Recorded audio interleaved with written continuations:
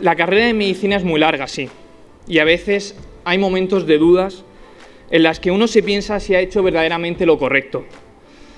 Pero es que son seis años por eso mismo. Seis años de dudas que te hacen darte cuenta de que la medicina es la profesión más bonita del mundo. Seis años que sirven para descubrir lo que es la amistad y encontrar a los mejores amigos que se pueden tener. Seis años para saber lo que es el amor y también el desamor.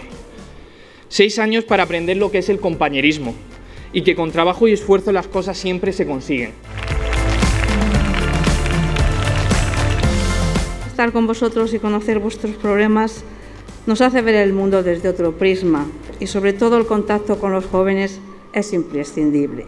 Da vida y alegría y nos ayuda a los que ya cumplimos muchos años a mantenernos con el espíritu joven un poco más de tiempo.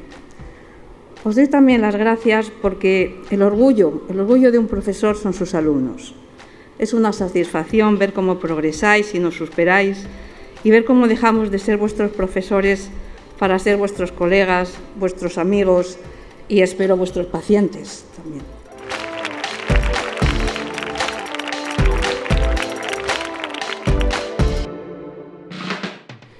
El día 13 de octubre, dentro de unos días, se cumplen 50 años del inicio de las actividades académicas de nuestra facultad. Muchas gracias a todas las personas de numerosas generaciones que se implicaron y que se implican cada día en este proyecto de facultad.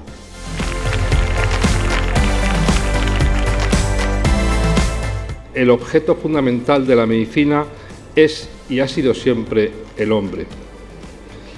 Los médicos adquirimos un compromiso y una responsabilidad tan noble como exigente, dedicar nuestra vida profesional a proteger y mejorar la salud, el bienestar y la calidad de vida de las personas,